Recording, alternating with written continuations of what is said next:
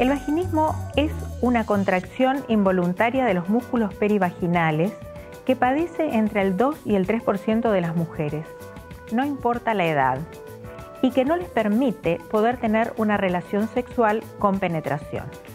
Esto significa de que eh, las mujeres pueden tener todo tipo de juegos sexuales y compartir con la pareja un gran placer, incluso el clímax, pero en el momento de la penetración los músculos se cierran en forma espasmódica y no hay nada voluntario que la paciente pueda hacer para evitar esta condición.